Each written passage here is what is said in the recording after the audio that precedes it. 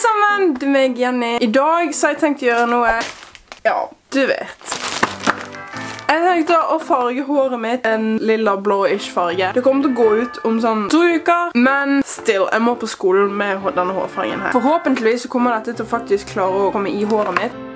For håret mitt er ikke så blondt som det står at det skal være. Jeg har sykt vondt i hodet, jeg er ikke i så veldig bra humør. Men jeg skal komme i bra humør med å gi meg selv et nytt new look for the new year. Er ikke det de sier? Jeg vet ikke, jeg skal i hvert fall bli helt forandret. Og jeg skal heller ikke si til noen at jeg farger det før jeg er ferdig. Og mamma vet det heller ikke.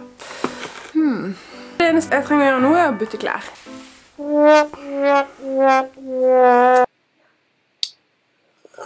Forhåpentligvis er ikke jeg stygg i 2019. Åh, kult. Oh my god, jeg ødela den under hansken. Hvor mange hansker er det? Ok, det går bra. Jeg tror siden håret mitt er mørkere på toppen, så begynner jeg på toppen, for da er det lenger på toppen, så da kan det hende at det blir sorte mer inn. Hvis håret mitt skal lilla, være lilla, så burde ikke bakgrunnslys være lilla. Rødt passer perfekt. Jeg er litt nervøs.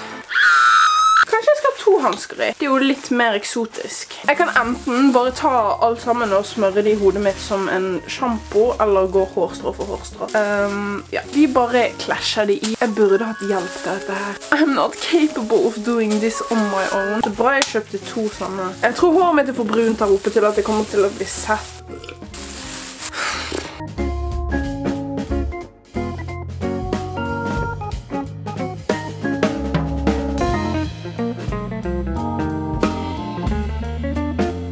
Forhåpentligvis kommer jeg ikke til å angre på dette.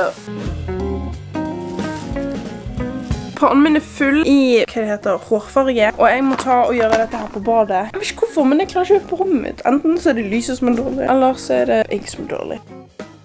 Uansett så tar jeg med meg hanskene og går på badet. Som du sikkert kan se, så er det litt for uh, ujevnt. Så jeg må ta og fikse opp det.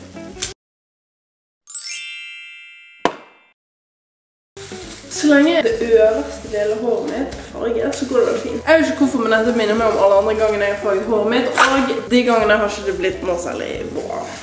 Jeg tror det begynner å bli bedre. Det kom på øyenbrynet mitt. Ok, jeg bare åpner den andre pakken. Ups.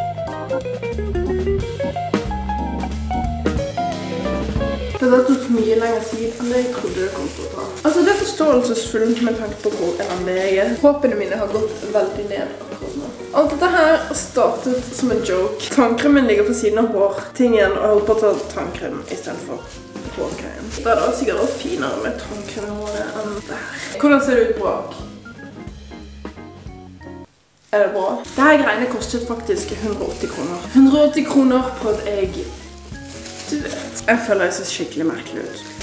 Jeg ser ut sånn som dette. Jeg har et problem. Vasken er full i blå merker. Og det er noe jeg aldri kan komme til å overleve etter. Om jeg ikke legger ut en video i 2019, så vet ikke hvorfor. Jeg har egentlig ikke sett på håret mitt ordentlig ennå. Ja, jeg ser ingen forskjell. Jeg tror jeg må ta føne det. Jeg får se om vi har hårføner oppe. Det må jo se annerledes ut. Jeg ser det er mørkere.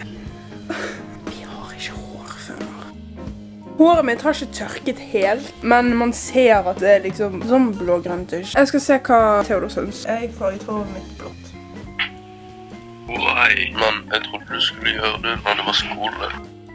Jeg ventet helt sykt lenge for at håret mitt skal tørke. Eller kanskje ikke så veldig lenge. Det er fortsatt litt vått. Resultatet av håret mitt ser litt grønt ut. Dette er dagen etterpå. Jeg føler håret mitt forandret seg veldig mye fra i går til i dag. Jeg vet ikke hvorfor. Det er ikke det fineste, men sånn som det her ble det i hvert fall. Tusen takk for at du så på denne videoen, og så ses vi i min neste video. Ha det bra!